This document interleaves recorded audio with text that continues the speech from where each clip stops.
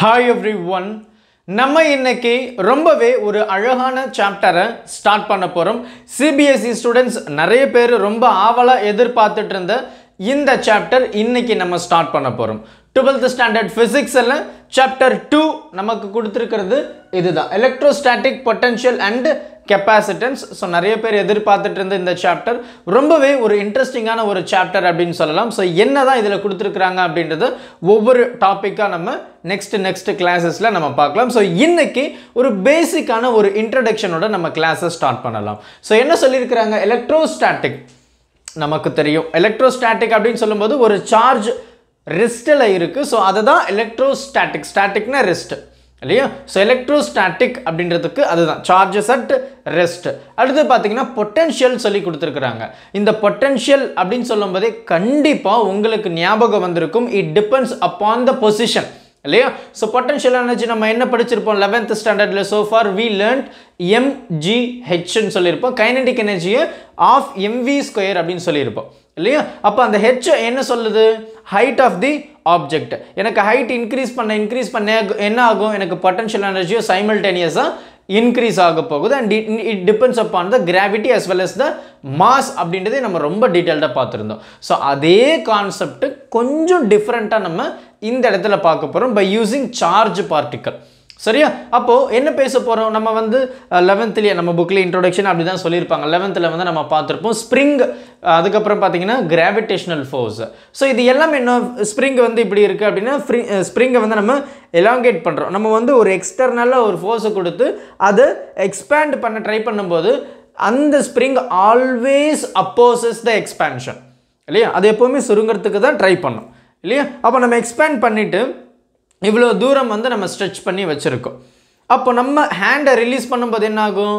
சடனாக வந்து அந்த spring will come to the original position இல்லையா? ஸோ அந்த எக்ஸ்டெண்ட் பண்ணுற அந்த இடத்த நம்ம என்ன படிச்சிருப்போம் அப்படின்னா கண்டிப்பாக ஞாபகம் இருக்கும் ரெஸ்டோரிங் ஃபோர்ஸ்ன்னு சொல்லியிருப்போம். இல்லையா? ஸோ அந்த இடத்துல நம்ம ஒர்க் பண்ணதை வந்து ஸ்டோர் பண்ணி வச்சுருக்கோம்.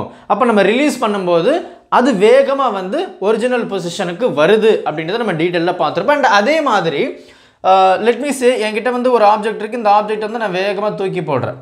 ரைட் அண்ட் இன்னொரு கேஸில் வந்து எனக்கு வந்து ஆப்ஜெக்ட் இருக்குது அதை நான் இன்னும் ஹைட்டாக தூக்கி போடுறேன். So this is the maximum height இந்த first case and this is the maximum height இந்த செகண்ட் கேஸ் அப்போ இந்த ரெண்டு கேஸில் பார்த்தீங்கன்னா யாருக்கு அதிகமான பொட்டன்ஷியல் எனர்ஜி இருக்க போகுது அப்படின்னா கண்டிப்பாக இதுக்கு தான் இருக்கும். ஏன்னா பொட்டன்ஷியல் எனர்ஜி அப்படின்னு சொல்லும்போது MGH depends up the height as also இல்லையா? அண்ட் அதே தான் நம்ம இங்கேயும் பேச போகிறோம் ஸோ நம்ம என்ன பேசுகிறோம் ஒரு ஆப்ஜெக்ட் நம்ம தூக்கி போடும்போது கிராவிடேஷனல் ஃபோர்ஸ் டவுன்வர்ட் ஆனால் என்னுடைய ஃபோர்ஸ் வந்து மேலே இருக்குது இட் அப்போசஸ் இல்லையா? ஸோ எதிர்த்து நம்ம ஒரு ஒர்க்கை பண்ண போகிறோம் அந்த இடத்துல பார்த்தீங்கன்னா நமக்கு பொட்டென்ஷியல் எனர்ஜி வந்து ஒரு முக்கியமான ரோலை நம்ம கன்சிடர் பண்ணியிருக்கிறோம். அண்ட் சேம் எக்ஸாம்பிள் இப்போ அந்த ஸ்ப்ரிங் அப்படின்னு சொல்லும்போது அந்த ஸ்ப்ரிங் வந்து இங்கே இப்படி இருக்குது இந்த ஸ்ப்ரிங்கை வந்து நான் என்ன பண்ணுறேன் எலாங்கேட் பண்ணுறேன் எக்ஸ்பேண்ட் பண்ணுறேன் இவ்வளோ தூரம் வந்து நான் எக்ஸ்பேண்ட் பண்ணிட்டேன். அதை என்ன ஆகும்? இந்த எக்ஸ்பேண்ட் பண்ணி என்னுடைய எக்ஸ்டர்னல் ஃபோர்ஸ் அப்படியே இருக்கும்போது எனக்கு இந்த பார்ட்டில் வந்து ரெஸ்டோரிங் ஃபோர்ஸ் வந்து இருக்கும். நமக்கு தெரியும் நம்ம படிச்சிருக்கிறோம். சடனாக நம்மளுடைய எக்ஸ்டர்னல் ஃபோர்ஸை ரிலீஸ் பண்ணும்போது இந்த ஸ்ப்ரிங்கு அதே ஒரிஜினல் ஷேப்புக்கு வந்து நிற்கும் அப்போ என்ன ஆகுது?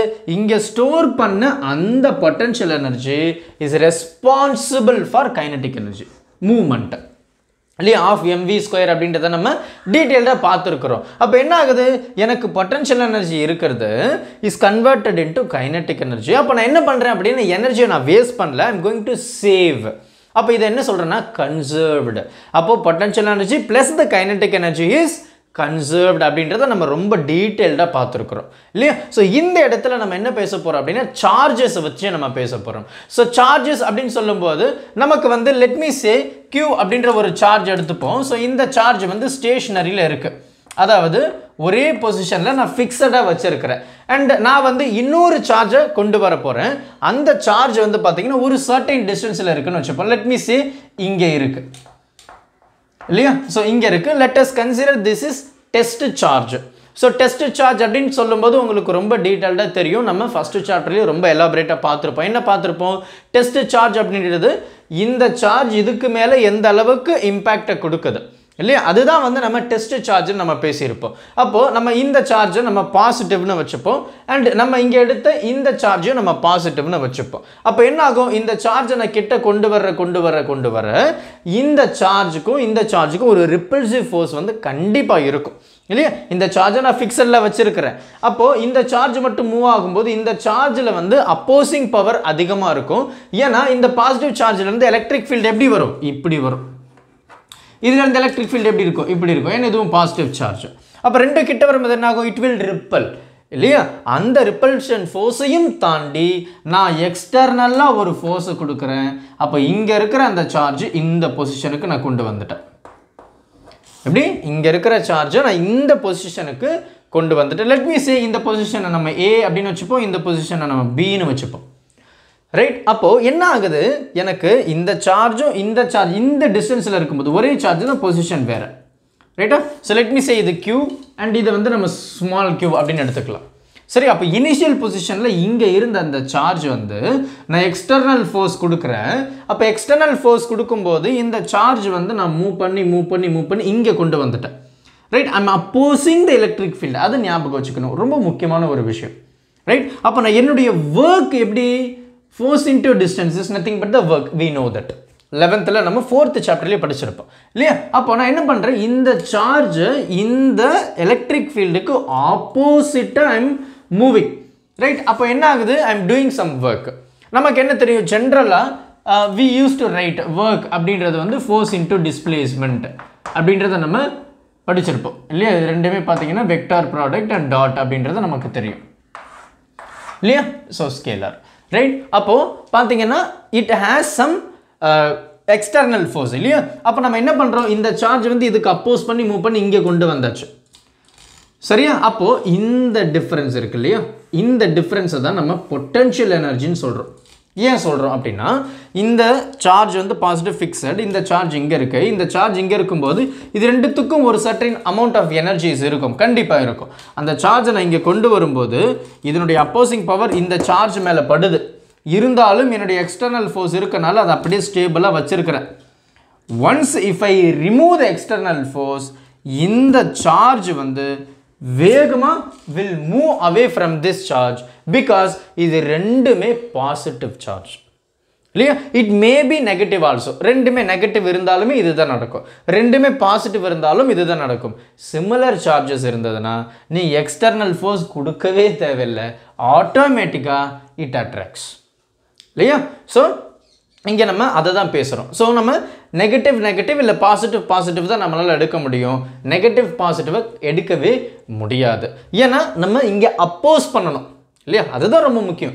அப்போஸ் பண்ணும்போதே எனக்கு பொட்டன்ஷியல் எனர்ஜி வந்து கிரியேட் ஆகும். இப்போ இந்த ஸ்ப்ரிங் வந்து இங்கே இருக்குது நான் எலோகேட் பண்ணுறேன் it always come to this original position அப்போது ஐம் அப்போசிங் இல்லையா? அந்த ஒரிஜினல் பொசிஷனுக்கு நான் அப்போஸ் பண்ணி ஒரு ஒர்க் பண்ணுறேன் ரைட் அதே தான் இங்கே.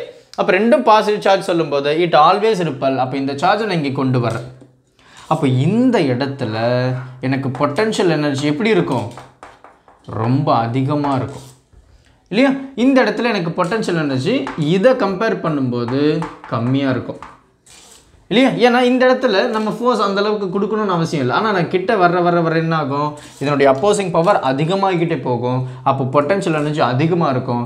When I release the external external force இந்த சார்ஜ் வந்து வேகமாக move away from this charge சரி இதுதான் இதில் இருக்கக்கூடிய ஒரு பேசிக்கான ஒரு அண்டர்ஸ்டாண்ட் அண்டர்ஸ்டாண்ட் பண்ணக்கூடிய ஒரு கான்செப்ட் அப்போ நம்ம என்ன பண்ணுறோம் இங்கே ஒர்க் பண்ணுறோம் எப்படி ஒர்க் பண்ணுறோம் இந்த எலக்ட்ரிக் ஃபீல்டுக்கு ஆப்போசிட்டாக பண்ணுறோம் ஞாபகம் வச்சுக்கோங்க.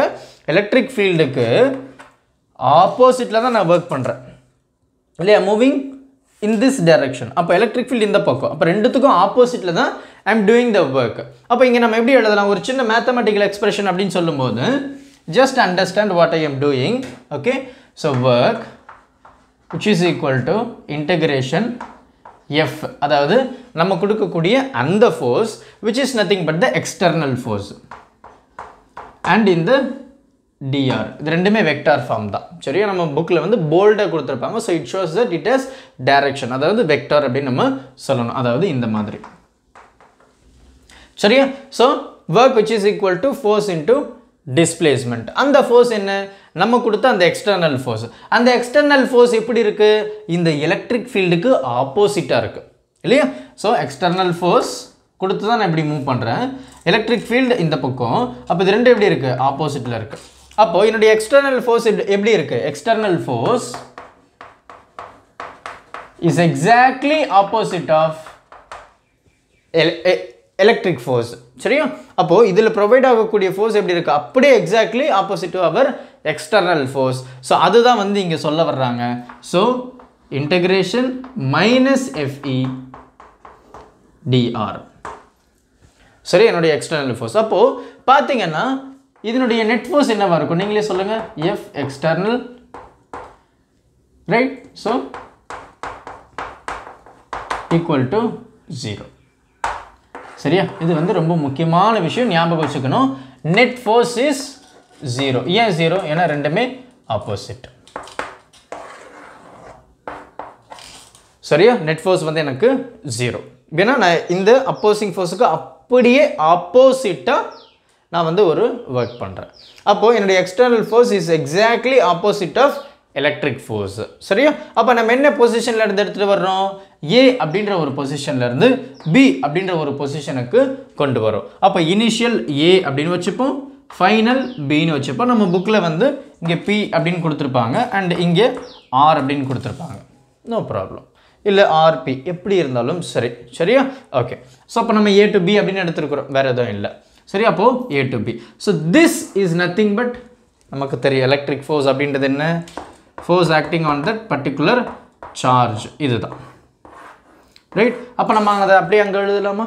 அப்போ அந்த electric force which is nothing but இந்த மைனஸை நான் வெளியே எடுத்துடுறேன். Minus integration A to B and அந்த ஃபோர்ஸ் வந்து Q times of E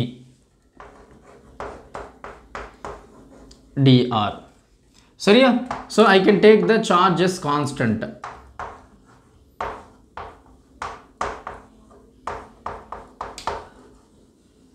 சரி இது என்ன ஒர்க் ஒர்க் ஒர்க் சரியா அப்போது ஒர்க் பை க்யூ இந்த க்யூ இப்படி வந்துருச்சு is equal to minus A to B EDR சரியா? அப்போ என்ன சொல்கிறோம் அப்படின்னா இந்த ஒர்க் வந்து is always negative right and இது வந்து ரொம்பவே ஒரு முக்கியமான ஒரு மேத்தமெட்டிக்கல் எக்ஸ்பிரஷன் இது என்ன சொல்லுது அப்படின்னா இந்த ஒர்க் டன் பர் யூனிட் சார்ஜை நம்ம பொட்டன்ஷியல்னு சொல்லுவோம். வி ஞாபகம் வச்சுக்கோங்க right work done per unit சார்ஜை நம்ம பொட்டன்ஷியல்னு சொல்லுவோம். ப்ராப்ளம் இல்லை எம்சிக்யூ சால்வ் பண்ணுறதுக்கு இது ரொம்ப முக்கியமாக இருக்கும். சரியா?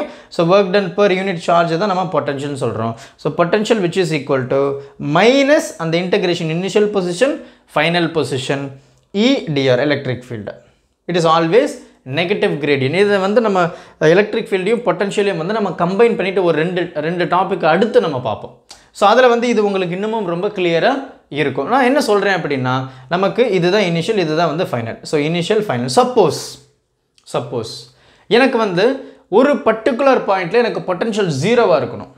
அப்போ என்ன பண்ணலாம் அப்படின்னா இட் இஸ் வெரி ஈஸி நான் என்ன சொல்லிட்டேன் இந்த சார்ஜ் இருக்குது இந்த சார்ஜுக்கு பக்கத்தில் என்னுடைய பொட்டன்ஷியல் அதிகமாக இருக்கும். அதிகமாக இருக்கும். கம்மி அப்படியே அதாவது அதிகமாக இருக்கும். அப்படியே என்னுடைய டெஸ்ட் சார்ஜ் வந்து இந்த சார்ஜிலேருந்து எனக்கு டிஸ்டன்ஸ் விலகி போக போக சோர்ஸ் சார்ஜ்னு வச்சுப்போம். சரியா?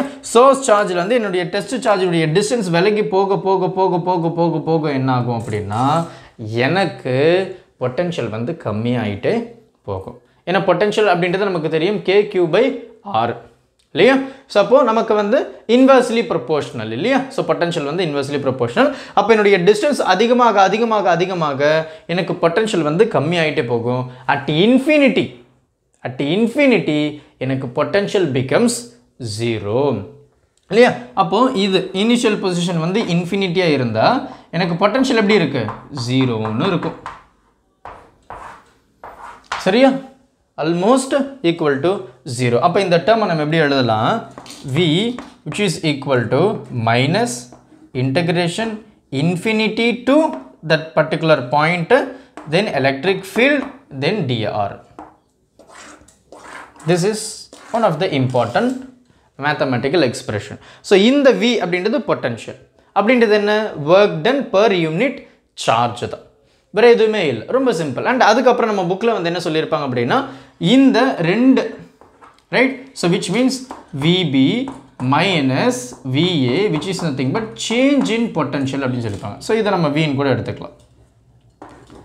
ரைட் ஸோ இந்த change in potential is nothing but work அதுவும் ரொம்ப ஒரு முக்கியமான விஷயம். ஒர்க் மட்டும்.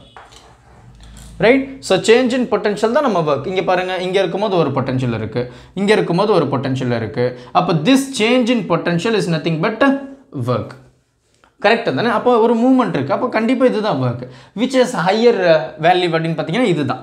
ஏன்னா இதுதான் வந்து க்ளோசர் டு சார்ஜ் அப்படின்றனால UB this has the higher highest value அப்போ UB minus UA which is equal to change in potential சரி இது வந்து கொஞ்சம் ஒரு இம்பார்ட்டண்டான ஒரு விஷயம். சரியா so change in potential and இதிலிருந்து ஒரு ரெண்டு விஷயங்கள் வந்து சொல்லியிருப்பாங்க. என்ன சொல்லியிருப்பாங்க அப்படின்னு பார்த்தீங்கன்னா இந்த சேஞ்ச் இன் பொட்டன்ஷியல் வந்து எப்படி இருக்கும் அப்படின்னா it always depends upon the initial position and the final position it does not depend upon the path அப்படின்னு சொல்லியிருப்பாங்க. அதாவது இப்போ நம்ம வந்து ஒரு ஒரு ஒரு ஒரு நம்ம வந்து இதுதான் சரி இப்போ நம்ம ஒரு ஆப்ஜெக்ட் வந்து நம்ம அப்படியே த்ரோ பண்ணுறோன்னு வச்சுப்போம். இப்படி இப்படி போயிட்டு இங்கே போகுதுன்னு வச்சுப்போம்.